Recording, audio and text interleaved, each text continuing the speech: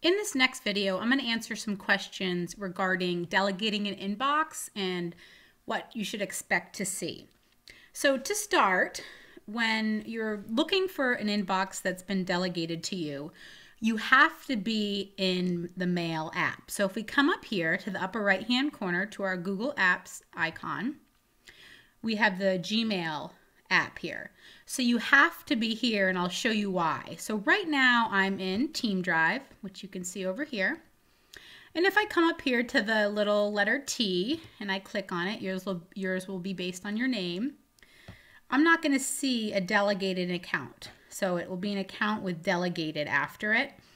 So I don't see it there. So then I'm like, what? I accepted it. Why don't I see it?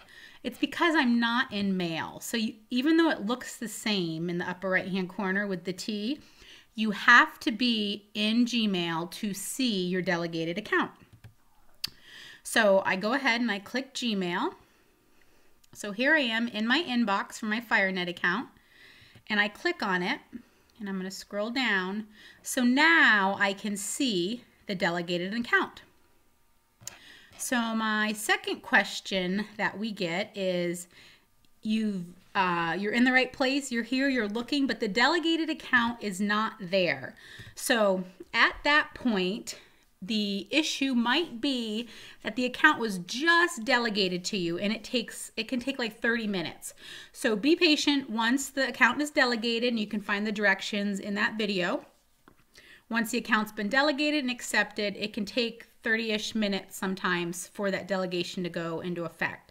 So make sure to give that uh, time and you will see the delegated account in your drop down again as long as you are in Gmail. And you come up to your colored letter up here on the right and you'll see it in your list. Thanks so much.